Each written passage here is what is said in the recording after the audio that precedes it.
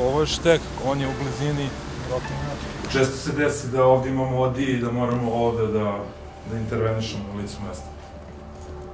Sigurno da bi bezbedne sobe za injektiranje dosta znači. Dve male iglice može. In Serbia, we're lucky with HIV, but we, with hepatitis C, 80% of our users uh, have hepatitis C.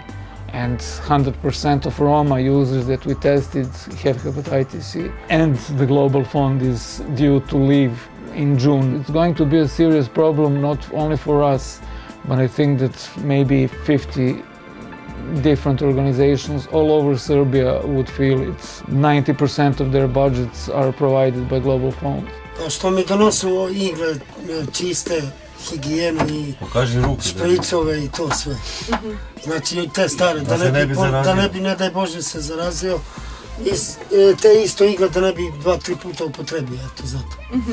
I vi sva sreća što donosivate te igle i te špricove i te to.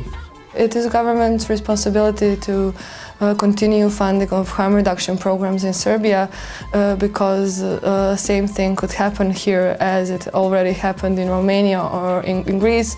Uh, there were low prevalence of HIV among uh, injecting drug users and now when global fund left and there was no uh, funding available from the government, they have practically HIV epidemic among uh, injecting drug users. In drug strategy says that our government should fund uh, needle exchange programs as well as sleep-ins and all the other things that don't do not even exist in Serbia as yet.